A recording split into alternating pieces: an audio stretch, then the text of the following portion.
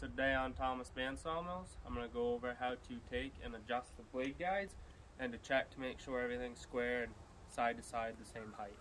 So what you need is a 6 inch level, 3 quarter inch wrench, and a 9 16 So right in here, the blade guides, have them all the way adjusted out at the widest point. Take, drop level on there, make sure that it's level. And you'll take, set the blade guide on here. Make sure that you're on one of the straight tooths. And then check to make sure you're level there. And then take, come over to this other side.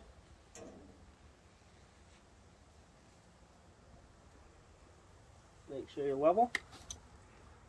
And then if you need to take and adjust it, all you gotta do is take your 9 16 loosen up your jam nuts, and then you can take and tighten and loosen this one, which will adjust that block up and down. So then your blade guide is back level and parallel to your rail. And then once you get it all back adjusted on each side, make sure all your jam nuts are all tight. Take, and then you're going to measure up on this side.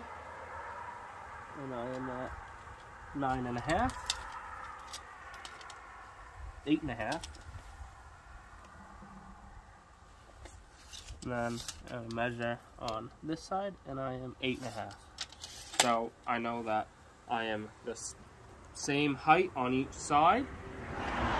And then the other thing I want to check is take inside your adjustable blade guide out if you have the adjustable blade guide. And then measure over here. Yep, eight and a half. To then make sure that this is running in and out parallel. So you're the same height all the way as you are when you come in. And if not, the adjustments for that are right here on this back side. That'll be another video where I'll show you how to adjust that.